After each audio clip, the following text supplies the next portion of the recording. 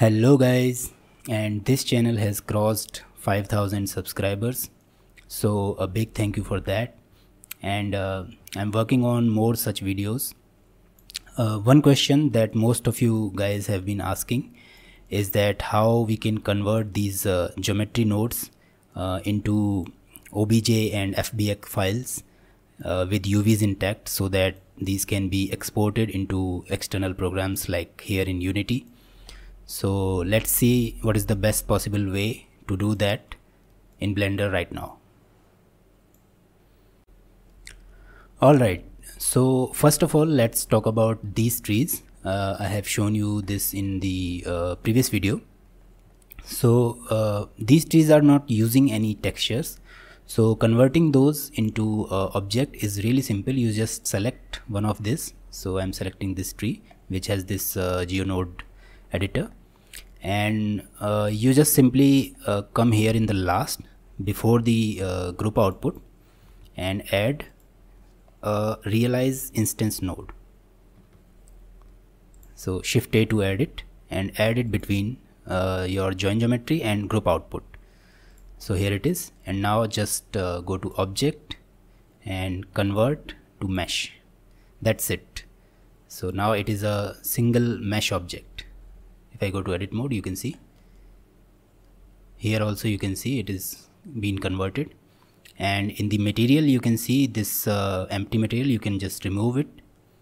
And if I change it to shader editor you can see all these uh, materials. If I go to object mode all these materials these are just simple colors so uh, to export it you can simply export it now. And uh, you can either recreate these uh, colors in unity itself or you can create your own UVs for this. Because these are just using basic colors. Alright so now let's talk about this file.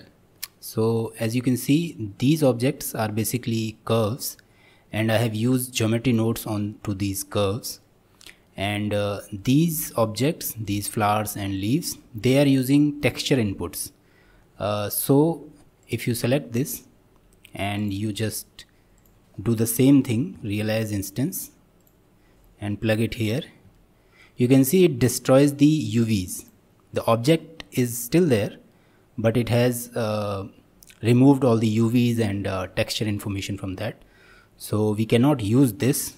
So, so delete it so for now, uh, realize instance is not working with the UVs properly. Uh, maybe in the future it will get solved.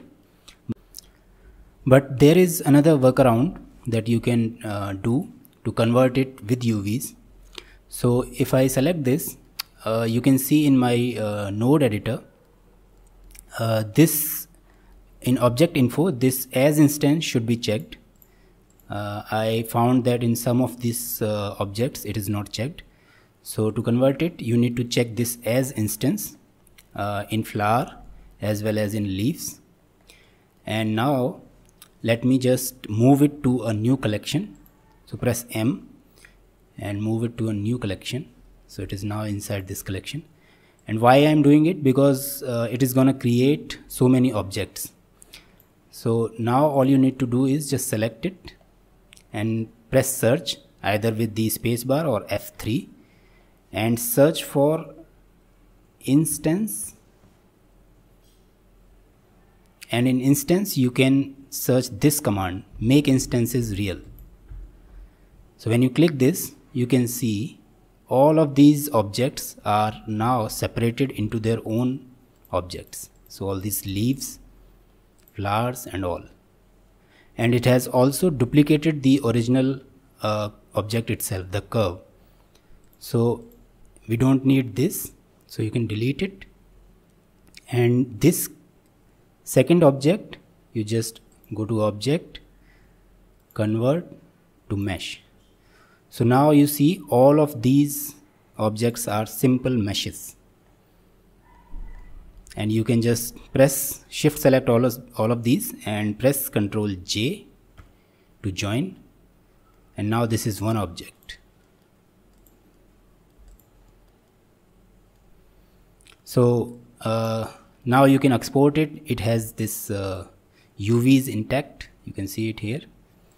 And uh, before exporting you may need to clean up a little bit. So if I go to edit mode first thing that I'll use is uh, 1 and A to select all the vertices because it creates uh, duplicate vertices. So you can just press M and by distance. So if you see here 140 vertices. So these are the duplicate vertices that are removed.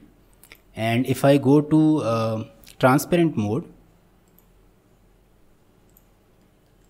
and go to edit mode you can see these some loose vertices inside these are the ones which are scaled zeros.